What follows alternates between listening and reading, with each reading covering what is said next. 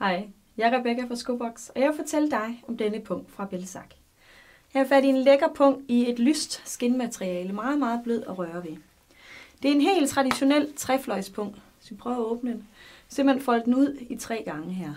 Her er plads til kørekortet, og her har vi plads til tre kreditkort. Der er en videre et rum her, og et her. Og hvis vi tager her, så har vi en trykknap, og her er plads til et stort møntrum.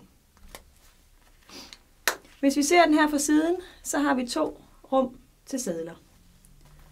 Klappen her, vi lukker, har også plads til tre kreditkort, og der er også plads her ind i siden. Så en god rummelig punkt. Den har en meget fin detalje. Jeg skal lige vise, at der er faktisk også et rum her foran. Men ellers detaljen på den her punkt er lige fletstykket her henover, så det lige sker lidt på punkten. Har du lyst til at vide mere om den, så spørg mig eller kig forbi.